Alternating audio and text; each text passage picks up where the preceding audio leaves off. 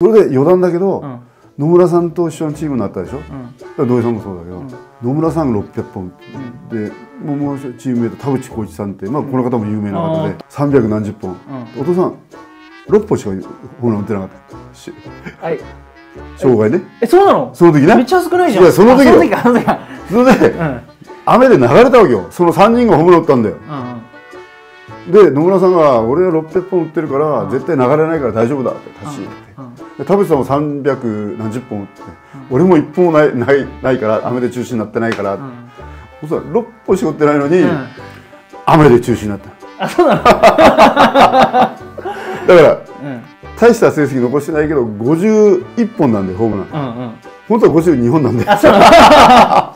それも三塁だとホームランだからねあじゃあいいんだ。そうそう。うん。だからサイクルヒットも狙えるっていうイメージで話してた